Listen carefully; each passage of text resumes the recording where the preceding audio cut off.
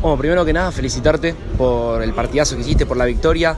¿Cuánto valen estos tres puntos y cuánto van a valer en un futuro? Y más que nada, la tajada que hiciste. Bien, bueno, gracias. Eh, importantísimo. Creo que es uno de esos partidos que valen más que tres puntos. Eh, y obviamente con el correr del campeonato se- más se va a valorar este partido. Este, y bueno, me alegra mucho haber podido ayudar a este equipo.